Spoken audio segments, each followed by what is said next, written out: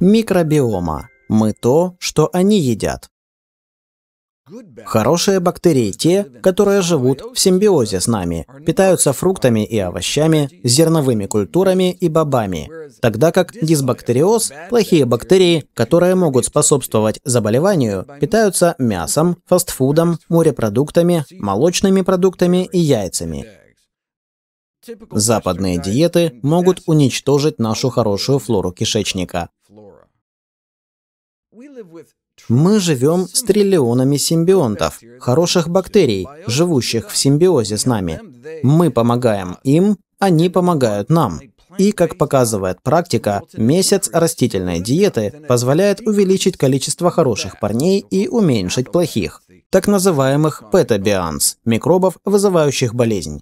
При исчезновении петабианс из кишечника можно ожидать снижения воспаления. В этой работе измеряли кал на концентрацию липокалина-2, который является чувствительным биомаркером воспаления кишечника.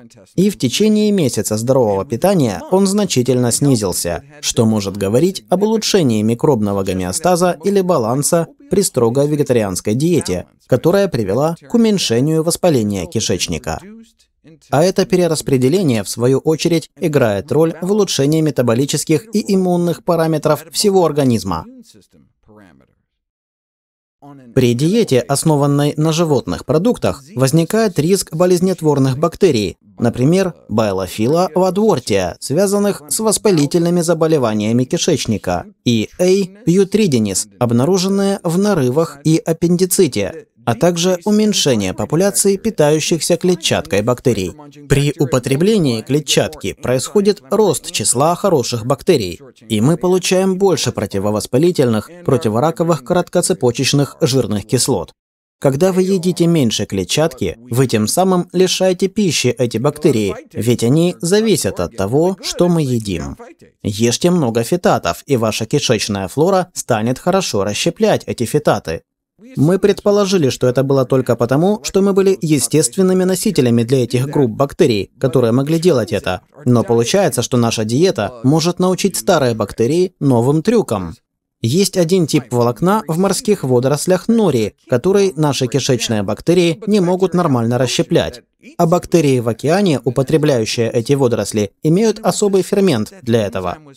Когда было обнаружено, что такой фермент присутствует в кишечнике японцев, это было загадкой. Конечно, суши едят сырыми, и поэтому некоторые бактерии из морских водорослей могли попасть в их кишечник. Но как могли морские бактерии процветать в человеческом кишечнике? Этого и не нужно. Они перенесли фермент, питающийся нори, к нашим собственным кишечным бактериям. Следовательно, потребление пищи с бактериями из окружающей среды связано с наиболее вероятным механизмом, который послужил причиной появления фермента в микробах нашего собственного кишечника почти как обновление программного обеспечения. У нас есть тоже оборудование, те же бактерии кишечника, но они просто обновили свое программное обеспечение, чтобы усваивать что-то новое. Однако оборудование может измениться. Правильнее тогда говорить, что путь к сердцу мужчины лежит через его кишечник и микробиоту, потому что речь идет о TMAO. Определенная флора кишечника может выделять карнитин из красного мяса и холин, сконцентрированный в молочных продуктах, морепродуктах и яйцах, и превращать их в токсичное соединение, которое может привести к увеличению риска сердечного приступа, инсульта и смерти.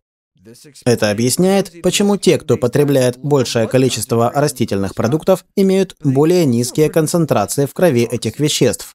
Но они также производят меньше токсина, даже если вы дадите им стейк. Вы не увидите такой же ситуации, предлагая адаптивный ответ кишечной микробиоты у всеядных. Ведь их микробиота сформировалась в соответствии с их пищевыми привычками.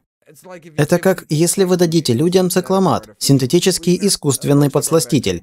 Большинство наших бактерий не будет знать, что с ним делать.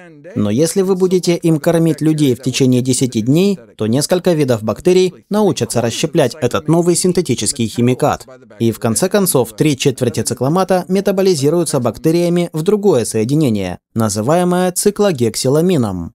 Но как только вы перестанете есть цикломат, эти бактерии умрут.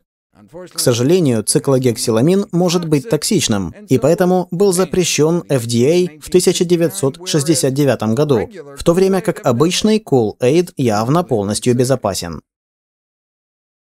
Если вы даже и съели цикломат однажды, циклогексиламин не образуется, потому что вы не обучили и не вырастили подходящую микрофлору в кишечнике. Такая же картина и с TMAO.